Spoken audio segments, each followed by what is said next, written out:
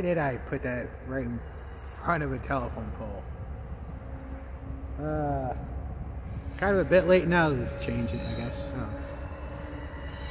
There, we'll do it that way.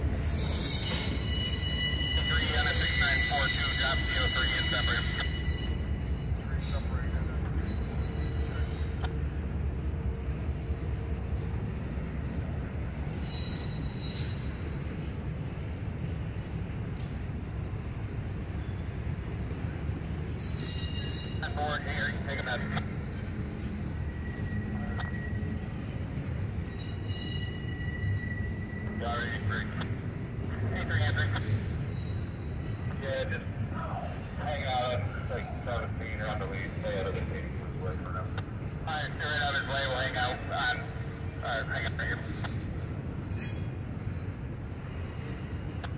Come on. Yeah, 82, when you get down there, you're okay to work.